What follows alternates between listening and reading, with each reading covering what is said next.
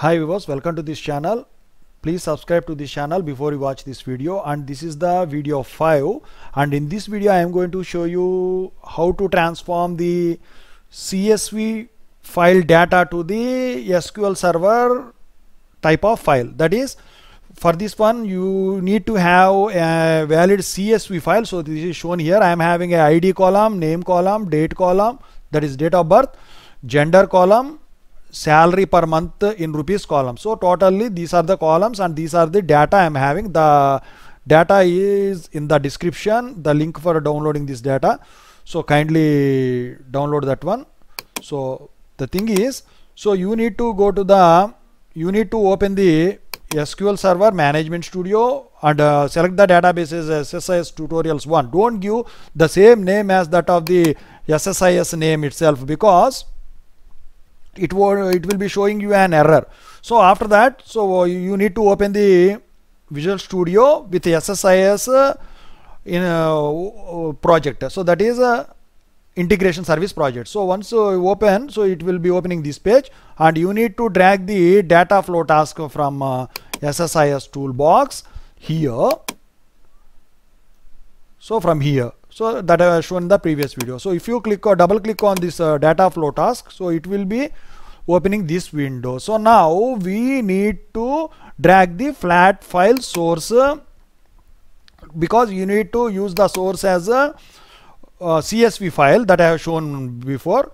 So go to the sources. So here in that you will be having a flat file source. You drag that one. So the flat file source will be uh, dragged to the area. So and uh, destination should be of OLEDB destination because we are going to convert CSV file to OLEDB file. So go to the destinations OLEDB destination. So this is the thing. So after that you need to create a connection manager but uh, rather than that uh, you can directly click on the flat file source. That is double click on that one. So it will be asking for the flat file connection manager. Click on the new so that it will be taking you to the area where the CSV file is located. So this is the flat file connection manager. So CSV source. CSV source. I have given the name. So and after that it will be asking for the file name to browse. So click on the browse. So go to the location where your CSV file resides. So my CSV file is in under the folder that is SSIS tutorials data. So here it will be showing no matches but uh, you need to select that uh, CSV files. So click on this one so click open. So see here it will be showing like this. So after that uh, if you go to the columns so yes these things has been loaded now. So if you want to preview you can preview those data. So right so it so if you click on ok so after that you need to go to the columns. So these are the things we got here and click ok. Now the connection manager csv source has been created here. And after that you need to connect this flat file source to OLEDB destination. So now it is showing red mark. Now you need to create a OLEDB connection manager. So double click on this one. So go to the new and it will be showing like this. So in that again you go to the new.